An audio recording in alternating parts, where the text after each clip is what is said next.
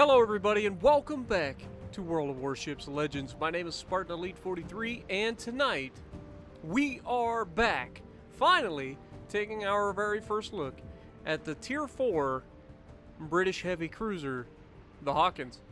So, with that being said, let's get to the commander. We're using Bruce Fraser. We have Nikolai von Essen as our commander inspiration, as well as Norman Scott. We are running Beyond Range, Igniter, Punch Through, and Fixated as our main skills, with the Fully Packed as our legendary skill. Now we have uh, Bruce Fra Fraser already maxed out, and he is a legendary too.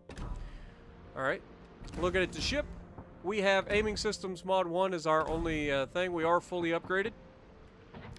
Look at our stats. We are running the Community Contributor flag. A lot of people ask me about the different flags. You get these by buying different premium ships or completing certain missions uh, when they pop up. You'll have to keep an eye out for those. Personally, the Community Contributor flag, you get that for being a community contributor.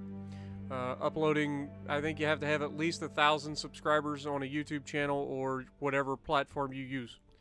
Okay? The camo is also CC camo. Stats 32,200 hit points. We have 10% torpedo reduction. Artillery, you have seven 190 millimeter guns with 15 kilometer firing range.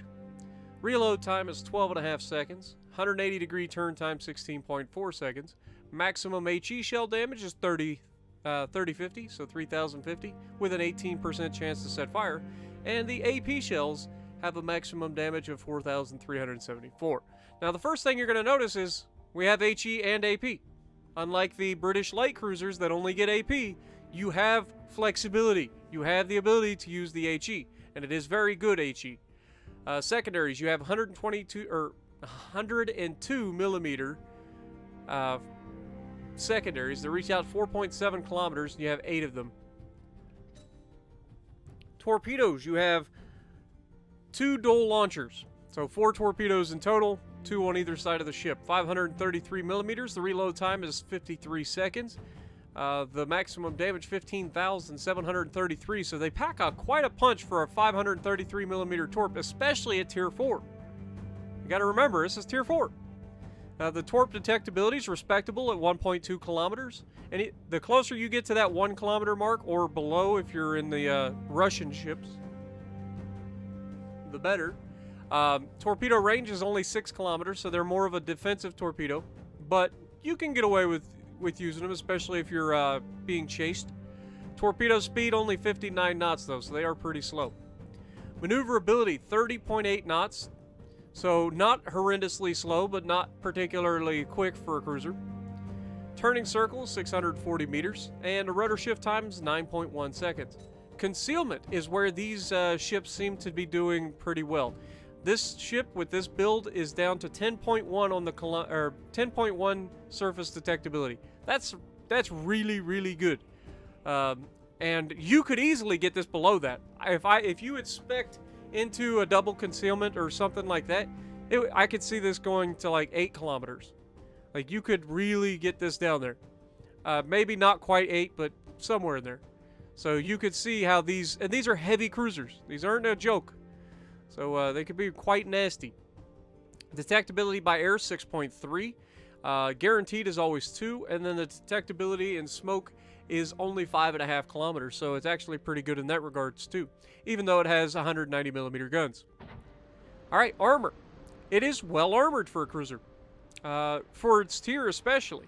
But uh, you've got 20 millimeters upper. Well, I guess that's showing the bottom. The very, very bottom. Okay. Then your fore-end plating there shows you 13 millimeters on the, the top and 13 millimeters between the 20 and the mid belt. But uh, try to show the, uh, let's see, that's the aft end armor belt. And it's showing 57 millimeters.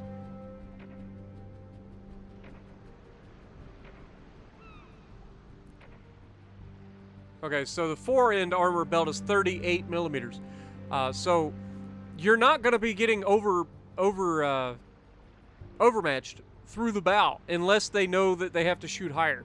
And even if they do overmatch you, they're not likely to citadel you. It's kind of nice. I'm not going to lie. I really do like the Hawkins a lot. Uh, we'll talk later about the Devonshire, but the Hawkins is a nice ship. I actually enjoyed the Hawkins quite a bit. Uh, overview. Sequential torpedoes, that's the British thing. Big guns. This ship is armed with high caliber main guns. Again, tier 4 with 190 millimeter guns. Nasty.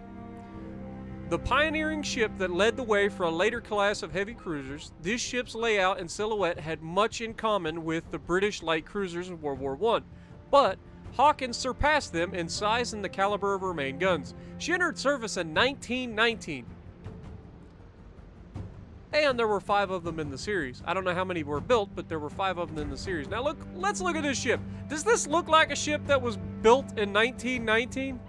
Because for me, it looks a lot more modern than that. Like, seriously, it looks good. It does look good for me, anyway. But that's just my uh, my personal opinion.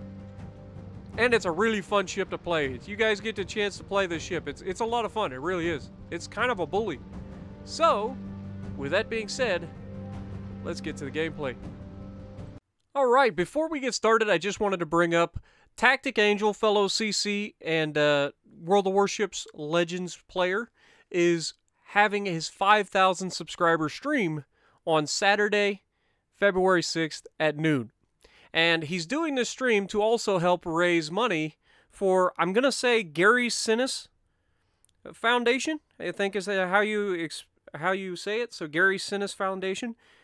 This uh, in celebration of getting 5,000 subscribers, we're having a stream and also trying to celebrate that by earning some money for one of the best charities out there for helping veterans in the United States. The Gary Sinise Foundation was established under the philanthropic direction of actor Gary Sinise, an advocate of our nation's defenders for nearly 40 years. Our mission is to serve our nation by honoring our defenders, veterans, first responders, their families, and those in need. We do this through a number of national and local programs. These programs designed to entertain, educate, inspire, strengthen, and build communities, serve America's heroes and their loved ones 365 days a year. So, please, if you want, head on over to Tactics channel. I will link it down in the description below uh, on, you know, it's actually going on right now. If you guys are watching this, it's going on right now. So make sure you guys stop over there to uh, check out his stream. And he, I like I said, he's a great guy. He knows what he's talking about when it comes to the ships, and he's he's doing it for a good cause. So there there's not much more that you can hope for in that sense. So, with that being said, let's jump over to the gameplay. Alrighty, so we're going to be on Haven, and like I said, I really do enjoy this ship quite a bit. It's it's a very fun ship to play. It's tanky. It's got uh, good guns that are pretty hard hitting. The only issue that I have with it is that the shells tend to take forever to get to the target if you're shooting at any sort of range. So uh, you definitely want to try to get close up with most of the targets that you're going to be fighting. Now you do have to be careful. This is still a tier 4 cruiser. Even though it is very tanky, it is also very easily taken out by battleships, especially if you give too much broadside. And considering the layout of these guns, it's going to want you to give more broadside. Now, you'll notice that it's got two guns in the front, it's got three guns in the rear, and it also has two wing turrets midship, one on either side. So, at the most, you're ever going to get is six guns onto the target. So, keep that in mind. Now, you don't want to be given a broadside to too many people. You got to be careful. But you can get away with it, especially against most of the cruisers that you'll come up against. Now, that being said, there are some exceptions. Cruisers with very good armor piercing, such as the American cruisers, as well as the Königsberg. Very dangerous if you give them a broadside. And obviously, the uh, the Furutaka, I believe, is tier 4. I'm thinking. I think it is. I think the tier 5 is Aoba, right? So, yeah, the Furutaka has 203 millimeter guns. So you don't want to be giving him a broadside, though the AP for the, the Japanese cruisers is iffy at best. Uh, you still don't want to be taking that chance. Now we're going to go ahead and take some shots early on. Notice I've got the armor piercing loaded, but uh, most of the time you're going to be using armor piercing against most of your targets. Uh, you will switch to HE, and it is very good HE, like I said. Uh, but it's on a situational uh, situational approach. Now, I've had some really good games in this. Uh, this was one of my uh, quicker games as far as getting damage in and showing what this thing is capable of against both cruisers and battleships. So we, we definitely wanted to show that and uh, show you the goods and the bads of the ship, hopefully. That's always the goal.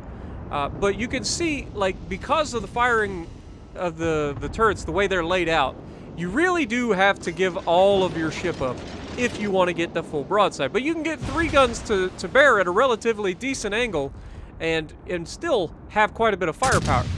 But when somebody's giving you this much to look at, it's going to be fun to just reach out and start citadeling. We're already up to three citadels, guys. It just The game just started. You don't want to sleep on these, especially in a cruiser. Destroyers either. Battleships, you can get away with it for now. But I'm sure that'll change later on as we get into some of the other ships, especially those 203 millimeter guns that are pretty nasty. Now, we look over to our left. We've got the Karlsruhe out there. Don't really have a shot at him. We're looking at the Marblehead, and then this Yahagi is thinking, you know, I think I can win this fight. And he's like, well, he's thinking he can win the fight. I know he can't, but uh, he's definitely doing more damage with the HE than I care to uh, give him credit for. But we're going to show him why the AP is better. If you're getting a broadside of a cruiser, load the armor piercing, man. what are you waiting for? I don't care what ship you're in. Okay, if you got a broadside of a cruiser, you better have armor piercing loaded. You're just gonna give yourself more chance to do more damage. Now, he's getting damage, he's getting fires and stuff like that, but again, fires and HE, you can heal a lot of that back, whereas armor piercing and citadels, not so much. And so we've taken all of his health already. We're, we're getting a little bit unlucky here towards the end of this fight. Uh, just getting good shots onto him. He's kind of angling. He's, he's turning enough to throw off the aim a little bit, and that's all it takes to avoid those big, nasty Citadel hits that he was taking early. Uh, we're still getting some good hits, 1,300 damage there. He's going to turn in, and uh, we're going to fire another salvo of armor piercing at the bow of the ship, and then we're going to switch to, our, or to the high explosive for this uh, next shot and showcase just how nasty the high explosive can be, too. Uh, you give me the broadside of your ship. It's still British. Uh, British high explosive is nasty, and sure enough, that's gonna do it. Down he goes. and of course, we got a fire too, right? Three hits was enough to take him out. We get our first kill. We're up to 36,000 damage. We took uh, a little more damage than we should have in that fight. We took a little too long. Probably could have switched to the HE a little sooner when he started dodging. Uh, we weren't getting those citadels, but I was always hopeful that I was going to get a couple more citadels on him and just finish him really quickly.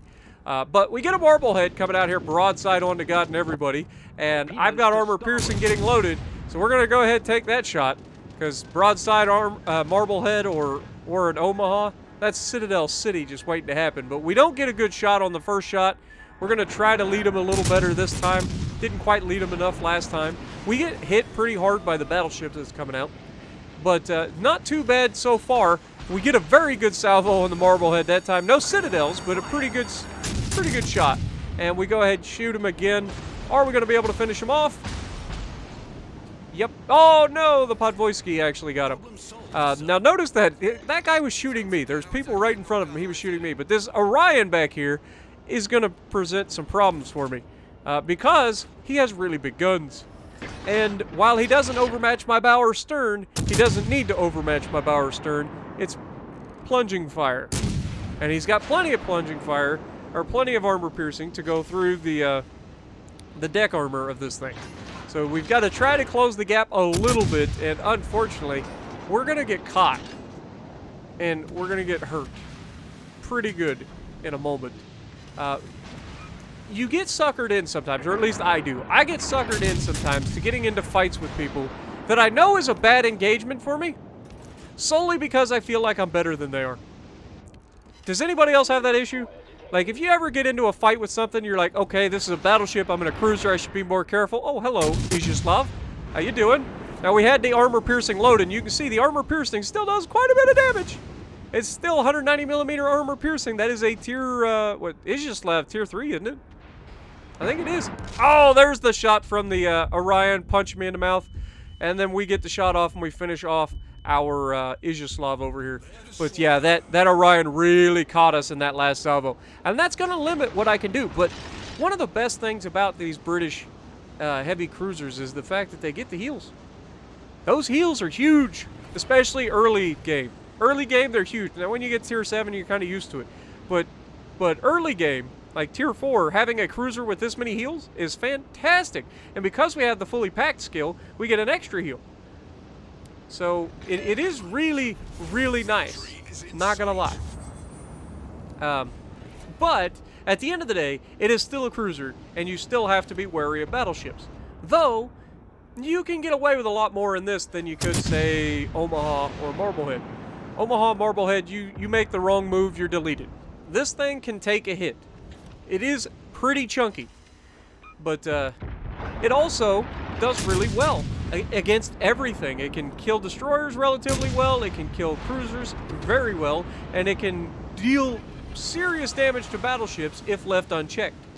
Uh, the battleships, if they give too much side, you've got the armor piercing, that's fantastic, and if, if you don't have a good shot for armor piercing, the HE is disgusting. So, it really is a good ship. Now, the Devonshire, I haven't had as much fun with. But uh, we'll talk about that in the Devonshire video that you guys will see later on.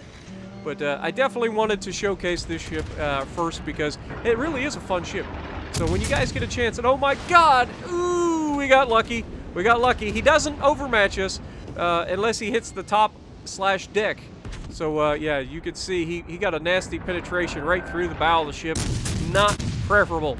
But we do have good damage against him. We go ahead, we're thinking about launching the torps. He's out of range. We don't really have a shot. There's a guy right next to us. Even if we did launch the torps, we would just hit our teammate. So we go ahead, we load the armor piercing one last good time. Assuming we're about to die, we launch the torps, and we kill him and die immediately, unfortunately. But we got him. That's all that matters, right? So hopefully you guys enjoyed. Hopefully this gets you pumped for the uh, British heavy cruisers. So far, not too bad. So if you like what I'm doing, punch the like button, leave a comment below, subscribe to the channel if you haven't already, and as always, I will see you in the next video.